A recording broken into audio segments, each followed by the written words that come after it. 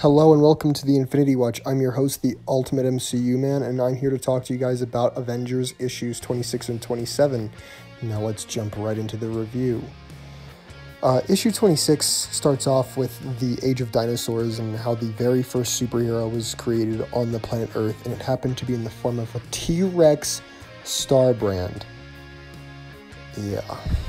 And then we see a version of Adam and Steve being attacked by uh, the deviants over a garden that they had discovered and kept and named fruits and vegetables after and everything.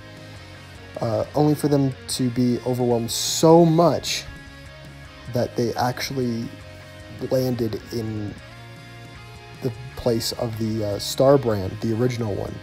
And one of the cavemen becomes the new Star Brand, the in place version of the Hulk for Avengers BC. Meanwhile, that's going on. Uh, we also figure out that the Shi'ar Empire is being attacked by a mysterious foe. And Gladiator is going to go check it out after he is told by the Brood and everybody that this is this is a big deal. He's told uh, his inferiors that if he doesn't come back in a certain amount of time, call the Avengers, which they seem to have announced, which they seem to have uh, allowed a new person in their ranks. And as they're all getting ready we see them all get ready only to be captured by the Shi'ar Empire, and a whole lot of things have popped off. Thor became a brood. Uh, Carol went through a black hole. She Hulk is beating up brood aliens outside of their ship, only to find that Captain Marvel just landed and started shooting up the place. And we find that while that's going on, Thor has been questioning his wor- his worthiness to Mjolnir.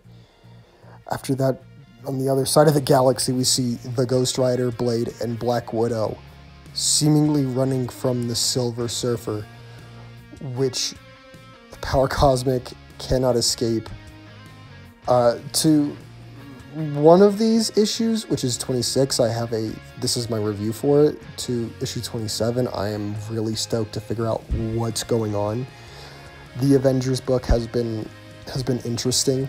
It has really been throwing some interesting curveballs into a lot of characters and you know like they, they seem to aaron seems to really show that the avengers are really earth's mightiest heroes and keeps giving them threats that would warrant them coming together. And I have to say, this is one of those books that I feel like both of them are kind of like must reads. I don't really care about Avengers BC, me personally.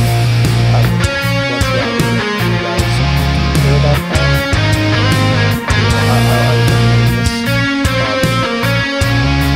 it's, it's, a, it's a really good